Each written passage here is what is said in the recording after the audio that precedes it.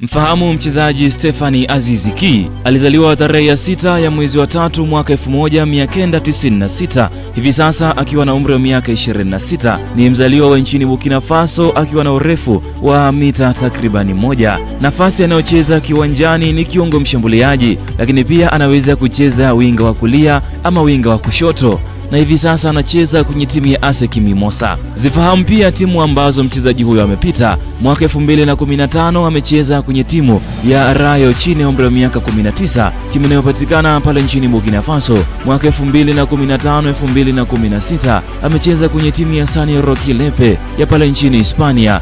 Mwaka 2016 hakuwa na timu yoyote, wakati mwaka 2017 2018 amecheza kwenye timu ya Omonia Nicosia ya pale nchini Cyprus.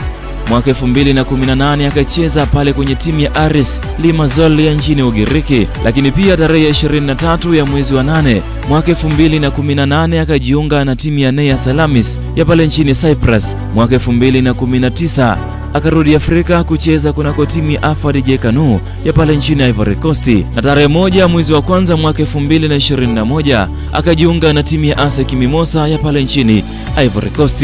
Na msimu huu katika michuano ya kombe la shirikisho barani Afrika amecheza michezo nane akifunga magoli manne akiwa na wastani wa kucheza dakika 91 na akiwa na wastani wa kushiriki katika magoli kwa asilimia 29 kamili. Na huyo ndiye mchezaji Stefani Aziziki ambaye anahusishwa kujiunga na miamba ya soka kutoka nchini Tanzania, Simba Sports Club. Mimi naitwa Kefasika Kefasiki Acrobatic.